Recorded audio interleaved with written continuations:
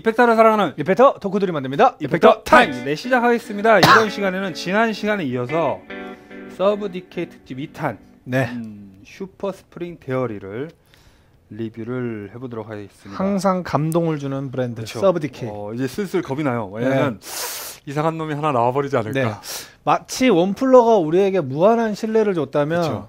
이제 우리에게 무한한 감동을 주고 있는 브랜드 Subdecay. 약간 좀 다른 게 Wampler는 안정감을 줬어요. 그죠. 얘는 뭐가 나와도 그냥 좋다. 그래. 안정감인데 그죠. 얘네는 그걸 넘어서 좀 놀라움을 주고 있어요. 그죠? 막 그러니까 Wampler를 딱 가지고 그래. 어. 뭐 너, Wampler니까. 너네는 뭐, 너네는 뭐 언제나 음. 딱 이거 뽑아주지. 고증된 사운드지. 그 서브 어, 디케이는 어, 이 새끼 뭘까? 어. 어, 그죠.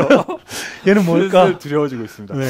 이 실제 스프링 탱크 reverb의 디자인 사운드 및 물리학까지 분석을 해서 진공관 스프링 reverb의 뉘앙스를 완벽하게 살린 네, 음. effector입니다. 근데 이미 설명부터 지금 접근하는 게 다르죠. 이 그쵸. 사람들은 지금. 그러니까 얘네는 진짜 오덕인 더, 음. 덕후인 거야. 우리는 뭐 이펙터를 사랑하는 이펙터 덕후들이 많은 덕후도 아닌 거지. 음. 그러니까 얘네는 완전히 맨날 이제 이펙터만 보면서 네. 어, 이렇게 하고 있는 그죠. 사람들이에요. 왜냐면 저는 그게 너무 마음에 들었거든요. 이펙터를 만든다라고 하지만 드라이브, delay 이, 이런 수준이 아니라 진짜로 소음을 만들어내고 음. 생전 처음 듣는 소리를 음. 기타로 연주할 수 있게 맞아요, 만들어내는 맞아요. 브랜드이기 때문에 기타 게, 케이블을 뽑을 때 나는 의미 없는 사운드까지도 실제 spring reverb 앰프 사운드처럼 재현을 했대요. 와. 그러니까 앰프에다가 저희가 spring reverb가 달려 있는 예를 들어서 그쵸. 지금 Deluxe Reverb 같은 경우나 Twin Reverb 같은 경우도 reverb 채널에 꽂았다가 툭 뽑으면 톡톡톡톡 하는 소리가 있잖아요. 그런 느낌까지도 연출을 했다라는 거예요. 톤 컨트롤을 사용을 하면 완벽한 음색으로 다이얼을 할 수 있고요. 음. 두 가지 용도로 사용되는 내부 reverb 전송 트리머가 채용이 돼서 어, 더욱 다양한 사운드를 연출하고 네. 있습니다. 이를 이용하면 더 짙은 입력 신호를 만들어낼 수 있고요. 더욱 극적인 효과를 만들어내고 더 미세한 컨트롤을 가능하게 한다고 하네요. 실제 스프링 탱크와 달리 decay knob 달려 있어요. decay knob를 사용하면 짧은 reverb 효과나 bending된 긴 공명을 또 만들어낼 수 있다고 합니다. 신호를 모두 아날로그로 전송을 하고요. 기타의 시그널을 왜곡하지 않는다고 합니다. 컨트롤부부터 예, 설명을 드리도록 네. 할게요. 전원 9V DC 아답터로 전원을 공급을 합니다. 네. 한개 인풋과 한 개의 아웃풋을 제공을 하고 있습니다. 네. reverb reverb 시그널의 볼륨을 컨트롤을 그렇죠. 합니다. 그다음에 dry dry 시그널의 볼륨을 컨트롤합니다. decay reverb의 잔향을 조절하고요. 톤 reverb의 톤을 조절합니다. 보시면 스프링과 룸 음. spring reverb와 림, room reverb를 선택을 할 수 있도록 스위치가 장착이 되어 있고요. trail과 오프가 있습니다. 음. reverb 효과에 trail을 적용을 하거나 아니면 바이패스 할 수 있는. 예, 스위치라고 할 수가 있겠습니다. 네. 사운드를 한번 예, 들어보도록 네, 하겠습니다. clean 그냥 사운드. 기본입니다.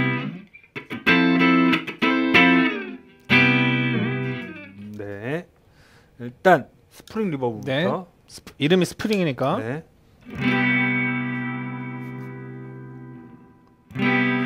어, 이거 진짜 와, 와. 미친 것 같아.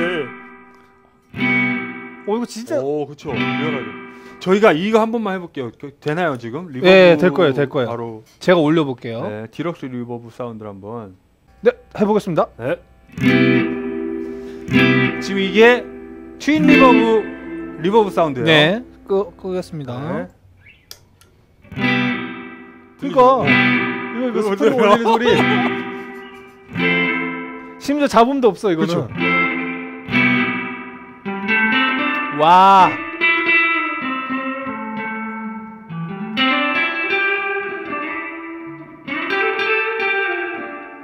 이 이거 쇠 울리는 소리 맞아요? 맞아요.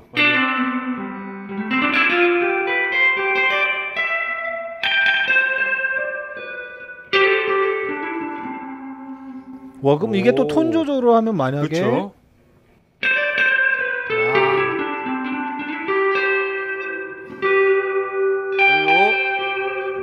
제가 드라이 시그널을 볼륨을 좀 줄여볼게요. 네. 어.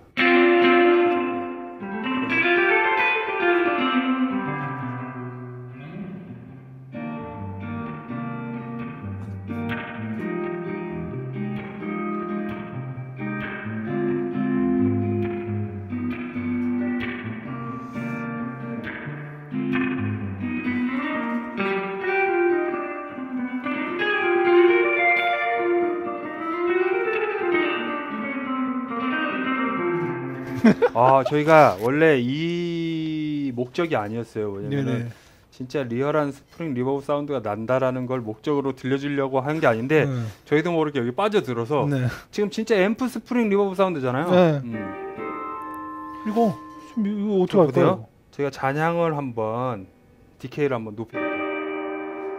이런 사운드는 앰프에서 안 나거든요. 응. 그거 이거 나죠, 이거 나죠. 어.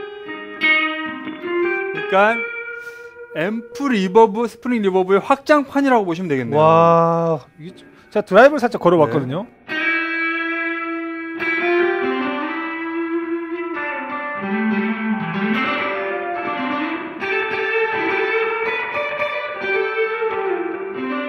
와 근데 진짜 그 여기서 아까 설명했던 그 신경 쓰지도 않을 법한 그 소리까지 다, 다. 넣었다는 게 느껴지는 네. 게칠 때마다 오히려 어. 뭐 이게 불편하다면 불편할 수 어. 있는 건데 내가 쳐서 그 이런 소리 그쵸. 있잖아요. 그렇죠, 그렇죠. 사실 이거 필요 없는 소리일 수도 있거든요. 네네네. 그래서 보통 이거를 잡으려고 네. 뭐 약간 좀 요 정도로 그쵸, 하겠죠. 그쵸. 근데 이게 지금 드라이 시그널을 다 죽인 네. 거잖아요.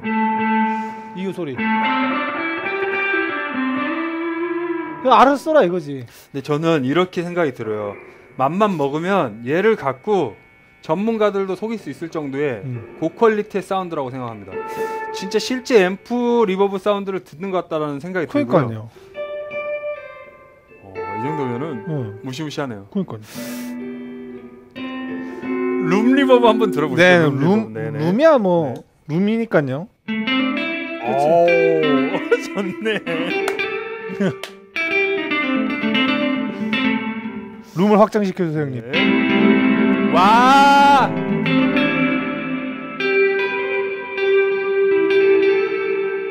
딜레이도 같이 걸리네요. 이렇게 하는.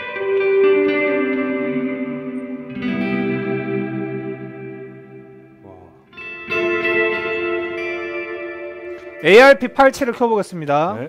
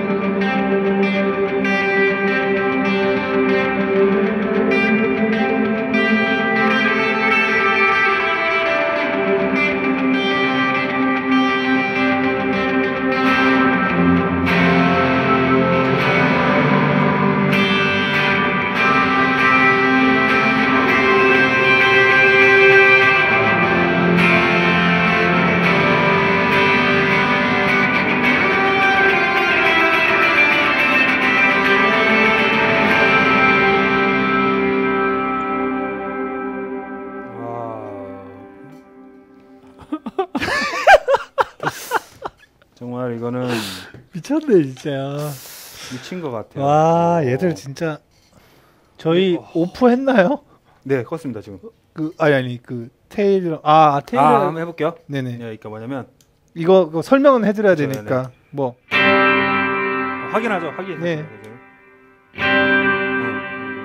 제가 이제 그래서 그랑 이렇게 그쵸. 요거 요거 하여튼 이거는 뭐- 근데 사실 이거를 오프해 놓으실 일은 잘 없으실 없으실 거예요. 예, 그냥 네. 항상 이렇게 네네. 테일을 해서 쓰시면 되는데 일단 음. 지금 중요한 게 난리가 나네요. 지금. 와, 와. 얘는 음.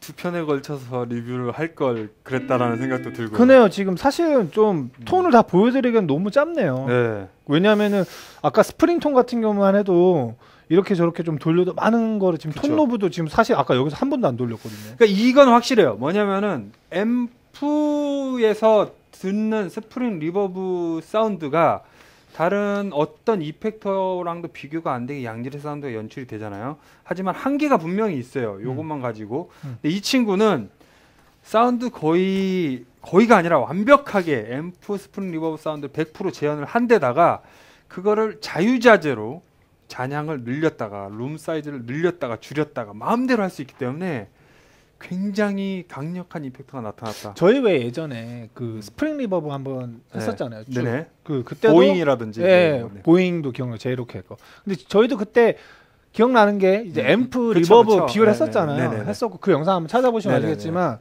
근데 이제 저희도 말을 한 게 그러니까 앰프한테는 안 된다. 앰프한테는 안 되고 뭐 그걸 감안하셔야 그쵸. 된다는 말을 계속 강조를 네네. 했어요. 그게 그 말은 즉슨 뭐냐면 결국 흉내다. 그쵸. 근데 흉내인데 이 정도면 훌륭하다인데 네. 지금 얘는 지금 실제로 비교를 했을 그쵸. 때 그냥 앰프 앰프죠.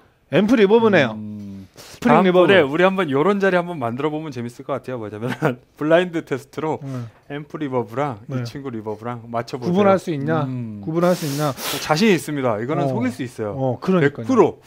이거 어, 그러니까 사전에. 음. 사전에 우리가 세팅만 딱 해놓고 그쵸. 그 값만 확실히 네, 맞춰 네, 놓으면은. 네. 충분히 속일 네, 것 같은데. 맞추실 것 같아요. 못 맞출 것 같아. 어 이제 은총 씨께서 Super Spring Theory를 사용을 해서 사운드를 들려주실 겁니다. 사운드 들어보시고요. 얘기를 이어나가 보도록 하겠습니다. 네.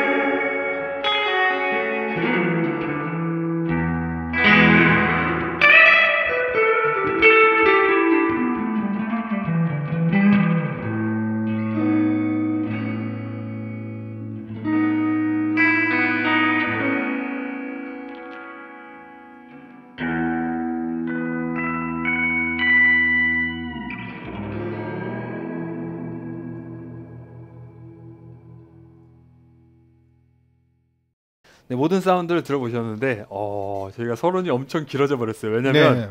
환상적인 사운드. 아, 어. 어, Subdecay. 와 얘네는 진짜 외계인이 있는 것 같아요. 어느 회사에는 음, 뭔가 이 과학자가 있던지 어쨌든 이 음향학적으로 사운드 이펙터를 끝까지 몰고 간다라는 생각을 가져보고요. 음. 현존하는 모든 이펙터 회사 중에 가장 집요한 회사다라고 저는 음, 평가를 네, 내리고 그러니까요. 음. 정, 한줄 평 드릴까요? 네, 네, 한 아, 줄 예. 평, 네. 어, 이게 지금 정신이 털리는데 지금 Subdecay 뭐 아직 한 줄 평 아니에요. Sub 네. decay를 쓰면서 제가 이제 느꼈던 거는 아까 이제 저희가 이제 전편에서 그 Octasynth를 네네. 했는데 이제 거기선 제가 그냥 한 줄 평 뭐 사겠다 이렇게 했는데 이 표현이 맞는 맞는 것 같아요. 어, 내 주머니 속 앰프 리버브 음, 음. 그리고 그 전에 Octasynth도 다르게 말하면 내 주머니에서 그냥 신디사이저. 네네. 그러니까 어. 그냥 확실한 이게 어, 가장 확실한 리뷰일 거. 아, 네. 한 줄 평일 거 같아요. 네. 정말 주머니에 있는. 저는 한 발 더 나가겠어요. 감히 싸대기 맞을 수도 있는데 앰프 스프링 리버브를 뛰어넘는 스프링 리버브다라고 감히 표현을 할게요. 음. 왜냐면은 어, 아까도 말씀을 드렸지만 현장에 와서 한번 들어보시면 알겠지만 지금까지 나왔던 앰프 스프링 리버브 복각한 이펙터들과는 완전히 다른 이펙터입니다. 완전히 다른 이펙터고 100% 재현을 한 것을 넘어서서 어, 완벽한 앰프 리버브 사운드를 들려주고 있고요. 그리고 아까 설명했듯이 가변성이 있어서 음. 앰프 리버브 사운드의 활용도를 극한까지 끌어올린 이펙터이기 때문에 앰프 리버브를 뛰어넘는 음, 리버브다. 그리고 저희가 네.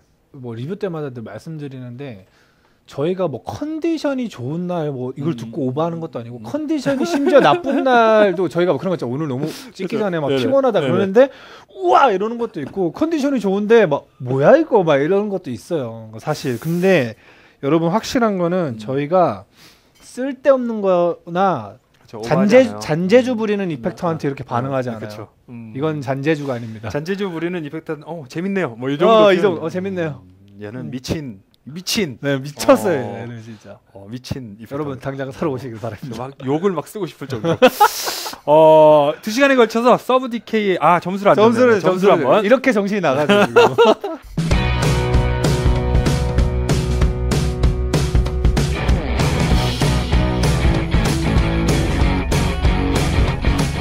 알겠습니다. 아, 하나, 하나, 둘, 둘, 셋. 셋. 저는 11점. 11점 아. 줬습니다. 네. 아, 저 같은 경우는 왜 9.8을 들었냐면 네. 아 솔직히 이거 10점짜리 맞아요. 네. 10점짜리 맞는데 기술력으로는 100% 10점. 100% 10점. 음, 음. 근데 그 물론 성향이 다른 네네, 건데 네. 일단은 당분간은 제 생각하기에는 그러니까 이건 아예 달라요. 그 스프링 리버브고 이제 호- 이제 그런 쪽이긴 하지만 음.